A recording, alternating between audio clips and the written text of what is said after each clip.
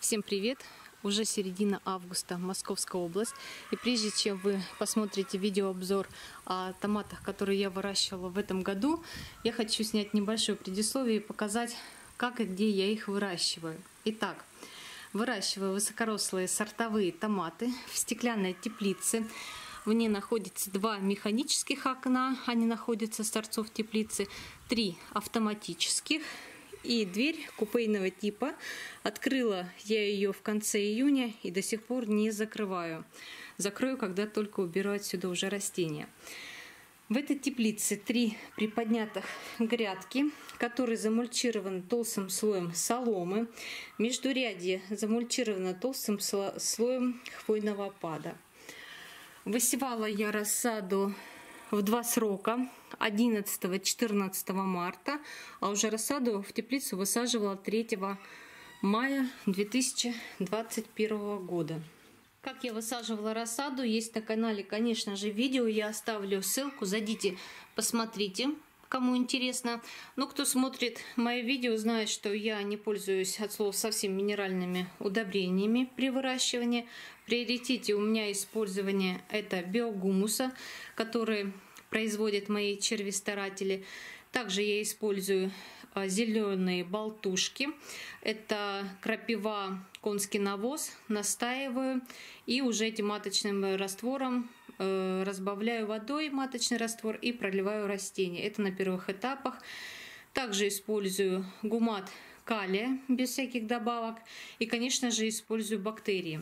Здесь конкретно я использовала триходерму вириде и также э, сияние номер один. А дальше вы увидите кадры видеообзора о сортовых томатах. Обязательно пишите в комментарии, какие томаты выращивали в этом году вы, что вам понравилось, что не понравилось. В общем, давайте в комментариях обсудим этих красавчиков. А я вам желаю приятного просмотра. Сорт томата «Черное сердце» с носиком от Борисовны. Это высокорослое, довольно-таки крепкое растение. У меня показывает как раннеспелый и средний урожайный сорт. В рассаде стройный, как, собственно говоря, все сердечные сорта. Плоды коричневые, зеленоватыми плечиками. Все крупные, сердцевидные формы с ярко выраженным носиком весом примерно от 250 до 350 грамм. На разрезе видны ярко-розовые прожилки. Сама мякоть плотная, но в то же время они очень сочные. Вкус ярко выраженный, с преобладанием сладости. Семян достаточно, но семенные камеры очень маленькие, поэтому приходится их поискать. Это для тех, кто собирает свои семена. Очень хорошо этот э, сорт дозаривается, и при этом он совершенно не теряет вкус. Вела его э, как в два стебля, так и в три стебля показывать себя и так, и так очень хорошо. Самые, самые первые плоды очень крупные, дальше они слегка мельчают. Плодоносит он очень долго, поэтому я советую этот сорт высаживать в теплицу. Он покажет весь свой потенциал, чем в открытом грунте, по крайней мере, у нас вот э, в средней э, полосе России. Очень вкусный черныш, выращиваю его два года. Замечательный сорт, всем советую. Использую его на соки, приготовление томатного сока и для кетчупов, и для свежего потребления. Для консервации цельноплодного он не подходит, потому что довольно-таки крупный. Следующий сорт томата – конь кани. Это новинка этого года. Высокорослое растение, среднеспелый, довольно-таки урожайный сорт, несмотря на то, что в Московской области аномальная жара, и растения многие цветы сбрасывали. Куст мощный, плоды крупные, от 500 грамм и выше, особенно первые кисти, очень крупные. Дальше а, плоды мельчают, но все равно остаются крупные довольно-таки от 300 грамм и выше. Плоды красного цвета, мясистые, сахаристые, э, сочные. Вкус у него от ярко выраженный томатный. Кислинка томатная преобладает, очень ароматный, знаете, такой томат-томат классический. Камеры, как видите, небольшие, семян тоже немного. Единственное, что хочу сказать, что за счет обильного плодоношения все-таки а, он требует устойчивой поддержки. То есть обязательно нужно его а, подвязывать. Я его ввела в три стебля. Этот томат хорошо подходит для соусов, для соков, для кетчупов за счет своей сочности, мясистости и малосемянности. Следующий томат, который я вам хочу показать, называется рубинчик. Это гибрид. Это единственный гибрид, который я выращивала в этом году в открытом грунте. Семена от Агросимфонда. Всю характеристику я сейчас зачитаю вам от производителя и уже потом скажу свое мнение. Действительно ли это так? Итак, ультраранний для выращивания в открытом грунте и под укрытием. Растение детерминантное, компактное, высотой до 70 сантиметров. Плоды округлые, гладкие, плотные, красного цвета, отличного вкуса, до 140 грамм. Ценность его заключается в том, что он скороспелый, высокоурожайный, в экстремальных условиях выращивания, дружное завязывание и плодоношение, выровненные, отличная лёжкость зрелых плодов и устойчивость к заболеваниям.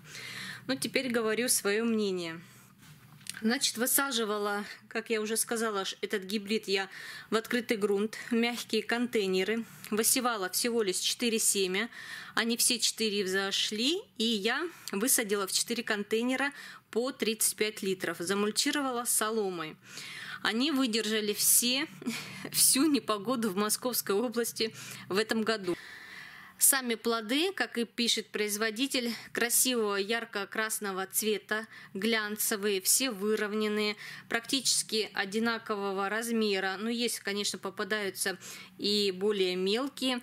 А, масса у меня была, по-моему, от 110 грамм, ну и ниже.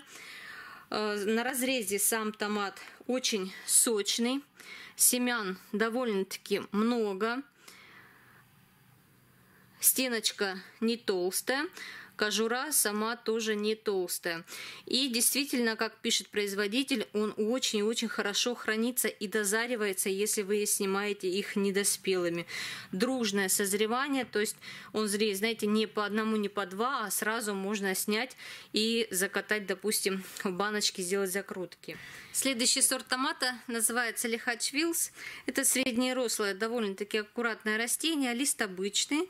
Формировала я его и в два, и в три стебля. В обоих случаях показал хороший результат. Среднеспелый сорт. Томат крупный. На первой кисти плоды достигают от 700 грамм и выше. Дальше он мельчает и достигает примерно 300-350 грамм.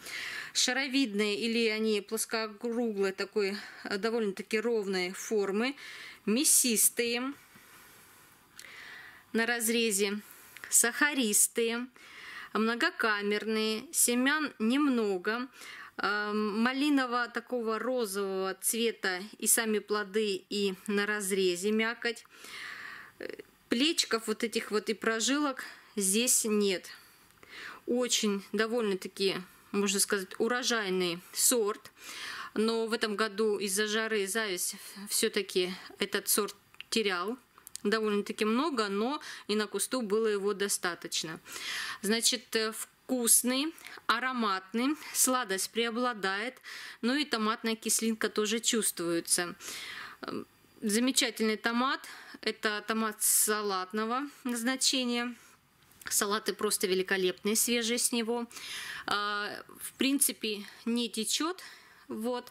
Э, хорошо будет он в консервации для соков, для кетчупов, для всех видов переработки, ну, конечно, не для цельноплодного консервирования. Следующий томат P20 Beauty King. Это новинка для меня. Высокорослое растение. Производитель заявляет, что это среднеспелый сорт, но у меня в теплице среди моих, среди спелых сортов томатов, он себя показал как ранний спелый. Очень и очень урожайный экзотический сорт. Еще он очень стрессоустойчивый, несмотря на то, что в Московской области была аномальная жара, он цветоносы практически не сбрасывал.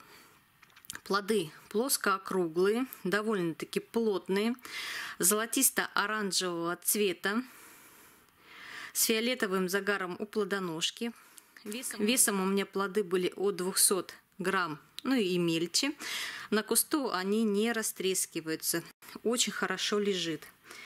Мякоть на разрезе оранжево-золотистая. Очень сочная, много геля. Также многокамерный, довольно-таки много семян. Вкус у него необычный. Не зря он считается экзотическим. Вкусные, такие сладковатые, э, с фруктовым если можно так сказать, посевкусием ощущается. Очень вкусный. Кожица у него тонкая. Вот. Очень легко отделяется от мякоти.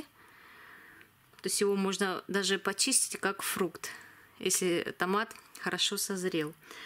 Выращивать его лучше, конечно, там, где побольше солнечной Э, на солнечной стороне, тогда он будет еще красивее, покажет всю красоту своих плодов.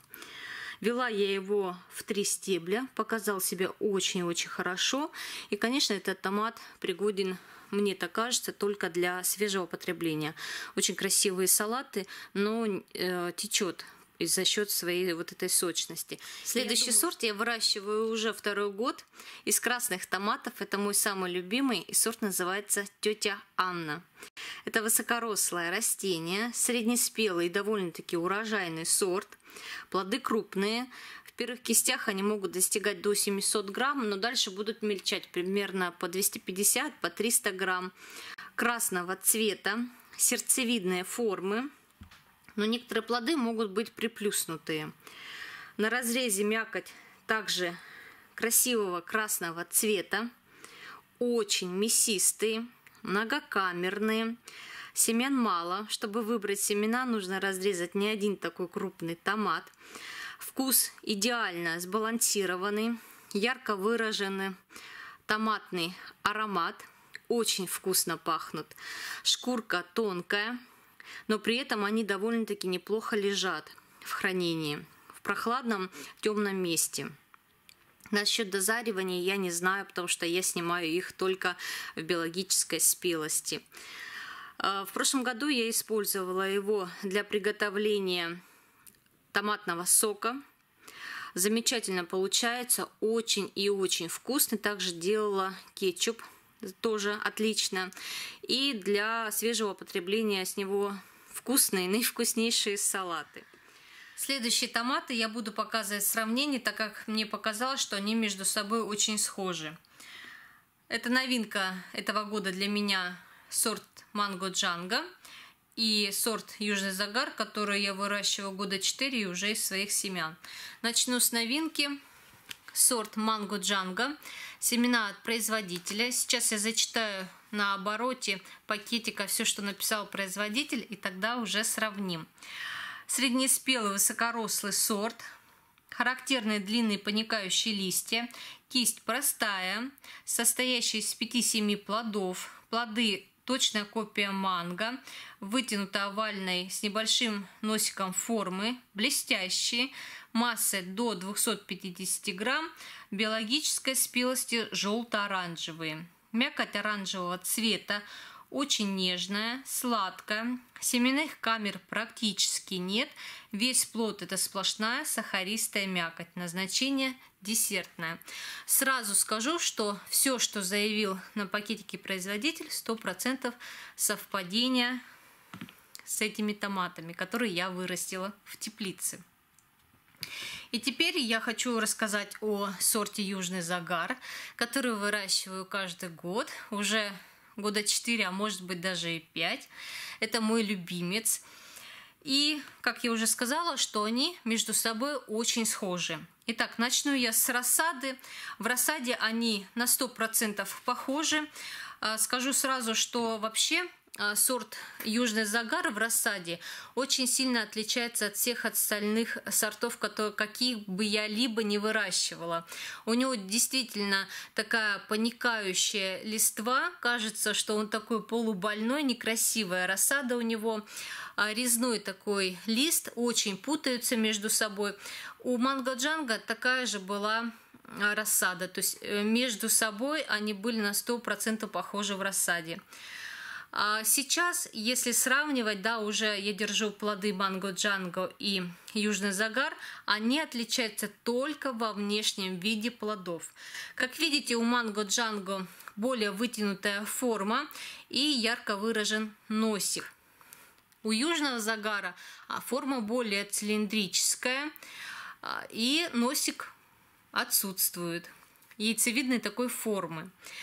А, и по размеру плодов тоже есть отличия. Если у манго джанку даже в первых кистях обычно плоды всегда крупнее, чем выше, то у манго джанга они все вот такого среднего размера 150, 200, 240 грамм максимум.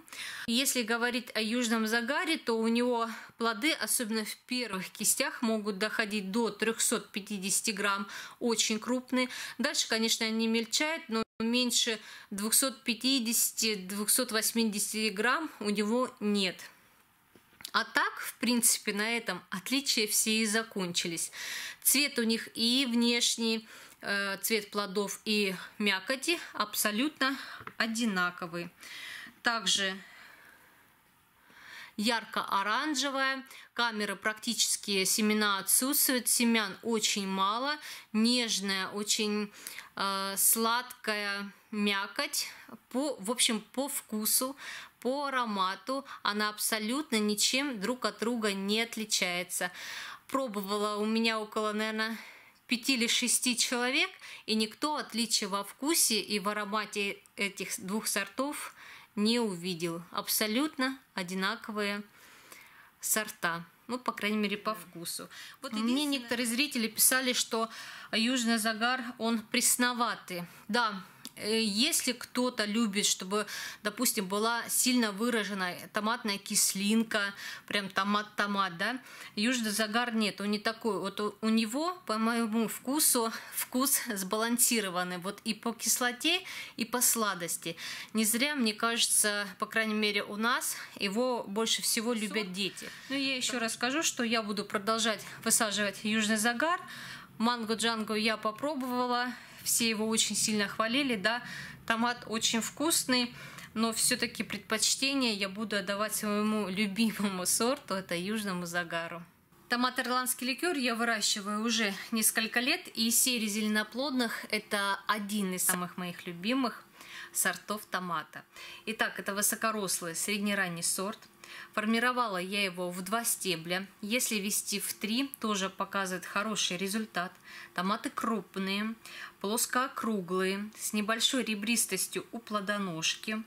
Вес плодов в первых кистях может достигать до 400 грамм. Дальше, конечно, они будут слегка мельчать.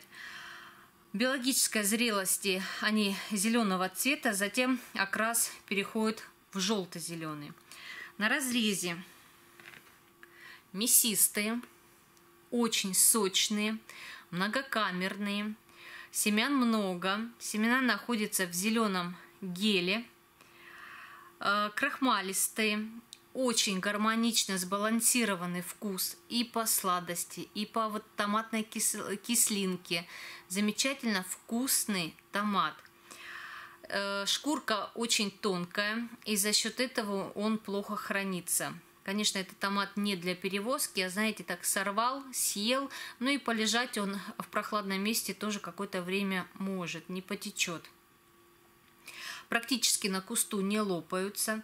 Примене, э, применяла я его и применяю для салатов, конечно, свежеприготовленные, но салаты долго не стоят, потому что текут, томат очень сочный. И также, кто любит зеленоплодные томаты в виде томатного сока, а, тоже вкусно. А, получается очень вкусный сок зеленого цвета, но это на любителя в плане цвета. Все-таки кто больше привык к классическому красному цвету томатного сока, наверное, зеленый не подойдет сок. А, он вкусный, но к нему нужно привыкнуть по цвету. И а что самое главное, хочу сказать, вот при уже выращивании его несколько лет, он очень и очень стрессоустойчивый, как к прохладе, к холоду, так и к жаре. Следующий томат, который я вам хочу показать, называется абрикосовый брендивайн.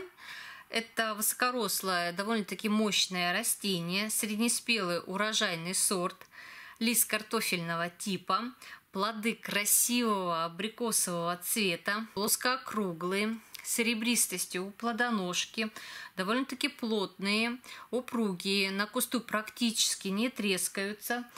Плоды крупные, в первых кистях они могут, могут достигать до 500 грамм, дальше, конечно, они слегка мельчают. Очень красивые внешне, но на разрезе они еще красивее. Мякоть красивого абрикосового, оранжевого, желтого цвета мясистые, многокамерные, а семян при этом очень мало. Чтобы собрать семена, нужно разрезать не один такой томат. Э, мякоть сама масляничная, сладковатая, нежная. Э, вкус очень сбалансированный и по, и по кислоте, и по сладости. И даже, знаете, можно все-таки распробовать какую-то легкую вот фруктовую нотку. Есть у этого сорта такое Эм, замечательный сорт, мне он очень-очень нравится. Вела я его в теплице в два стебля. Э, хороший он для салата, довольно-таки долго салат не течет.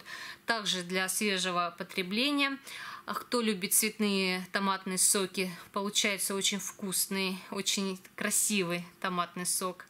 И также для Эти томаты вы меня видите, они неприглядного такого качества, потому что с этих томатов я буду собирать семена, а чтобы собрать семена, я полностью томату даю вызреть прямо на кусту.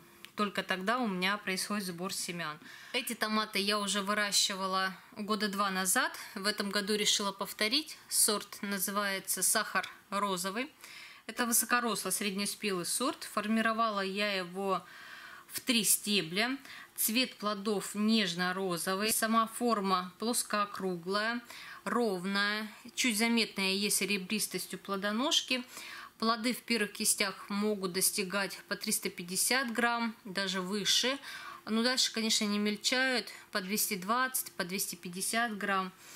Кожица довольно-таки плотная, гладкая, но если на кусту томату давать перезревать, то он, конечно, начинает очень быстро лопаться. Мякоть на разрезе ярко-розового цвета, очень мясистая, сочная. Сладость здесь более выражена, чем кислинка. И хорошо выражен томатный аромат. Вкусный, очень вкусный томат. Он также хорошо дозаривается. Вот если вы снимете его чуть не дозревшим, дозаривается просто замечательно. Я его применяла для приготовления, конечно, салатов и для домашних заготовок. Любой переработки он подходит. И соки, и кетчупы, и соусы. Кто любит розовоплодные, конечно. Томат Сан-Марцана. Среднерослое растение в теплице достигает максимум полутора метра. Среднеспелый, очень урожайный сорт. Формирую я его обычно в 2-3 стебля. Плоды удлиненные, они собраны в кисти, э, в биологической зрелости красного цвета, гладкие, глянцевые, с небольшой ребристостью, э, довольно-таки плотные, дают пустоты. Стеночка может достигать в 1 см, очень мясистые, весом примерно около 100 грамм. Отличная у них лёжкость и отлично они дозариваются.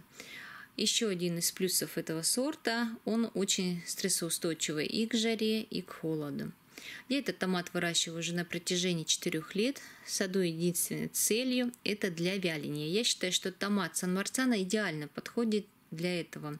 Еще хорошо он подходит для приготовления соусов.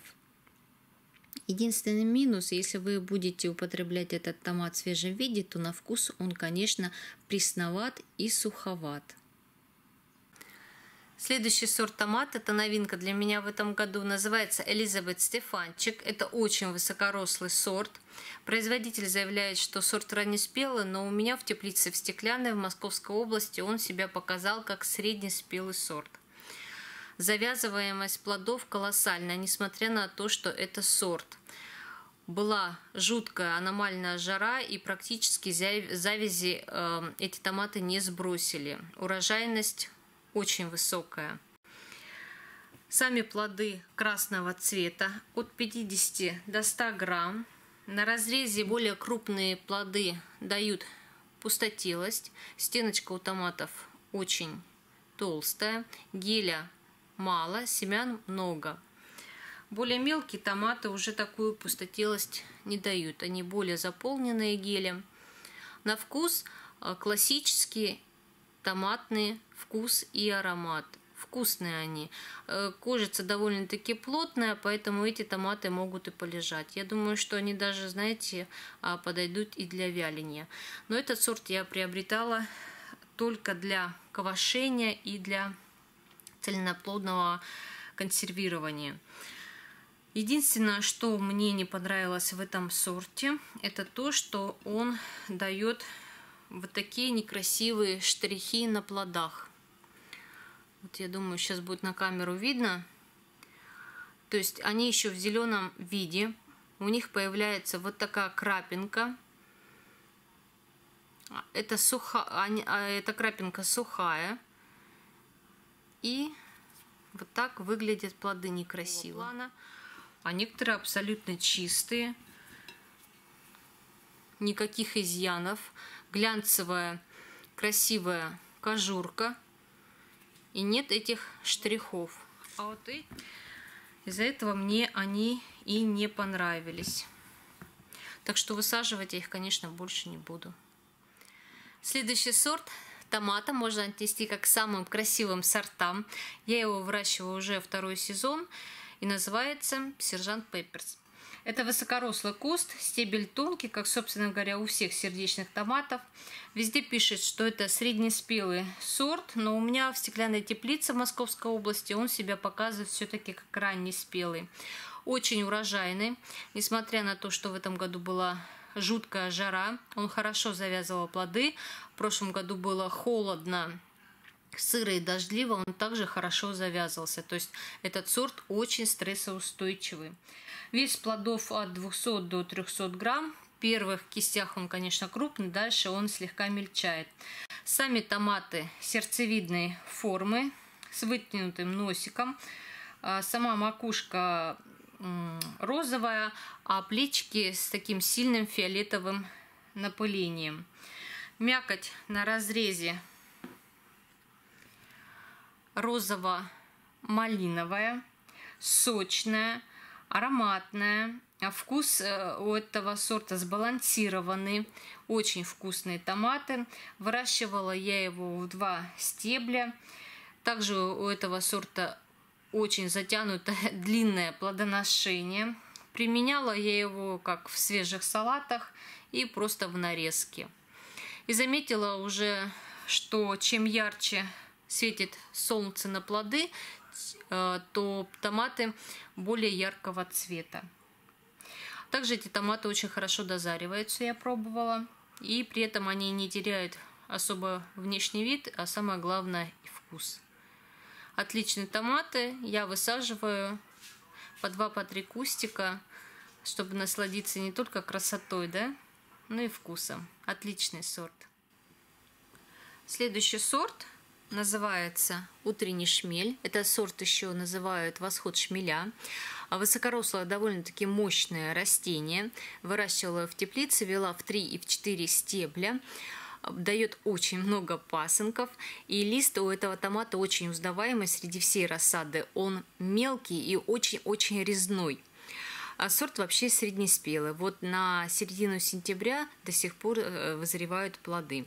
Сами плоды округло-овальные, ровные, глянцевые, гладкие. Они золотисто-желтого цвета, такой солнечный окрас с розовыми полосками. Окраска очень красивая у томатов, и при этом вот эти розовые штрихи, они не только на кожурке, но и внутри плода. Сами плоды черри весом у меня получались до 20 грамм или чуть-чуть побольше, то есть плоды очень мелкие. А на кусту они не растрескиваются вот за счет своей плотной кожуры. А она действительно очень плотная, но при этом а, съедается приятно. То есть нету такого ощущения, что они какие-то деревянные, да? Вкусные, очень вкусные, сладкие, а, производитель заявляет, что кожура у него не толстая, но она плотная. Не сказать, чтобы сама кожурка толстая, но а, сама стенка у томата очень плотная, поэтому они действительно не растрескиваются. На разрезе, сейчас я вам покажу, они довольно-таки сочные, видно, да, но при этом мякоти тоже очень много. Еще а теперь о минусах этого томата. А, этот томат, этот сорт, он очень не стрессоустойчивый, по крайней мере, к жаре, как показало это лето. Из всех сортовых томатов, которые я выращиваю в теплице, он самый первый и самый больше всего сбрасывал зависть. То есть очень красивый, очень вкусный, но не для теплицы, по крайней мере, в жарком климате. А на улице вырастить, я думаю, что эти томаты стоят и за красоту, и за вкус. Следующий сорт томата называется томата Берри. Я его выращиваю уже второй год. Это высокорослое растение, среднеспелый сорт. Стебель довольно-таки крепкий, кисти очень длинные, красивые. Плоды коктейльного типа э, в форме таких маленьких сердечек, очень красивые. Сами томатики красного цвета. Блестящие, весом около 25-20 грамм. Сочные, без пустот. А, с нежным сладковатым вкусом. Шкурка у них средняя. Он очень устойчив а, к растрескиванию довольно-таки сочный. И, как я уже сказала, сладковатый вкус, вкус в общем-то, забалансированный. Вела я его формировала в теплице лучше всего в два стебля. Он показывает хорошие результаты. А, не болявый сорт вообще. А, завязи в это жаркое лето сбрасывал, но незначительно. Очень этот сорт хорош для украшения, для вот э, э, приготовления салатов. Просто вот так на половинке разрезаете, и свежие салаты просто замечательный вкус. Практически в салатах и не течет, потому что у него жидкость и мякоть тоже сбалансирована. А вот сегодня середина сентября, и они вот до сих пор спеют, и очень много еще э, в зеленом виде прям на веточках дозревают. Хорошие томаты, мне они нравятся.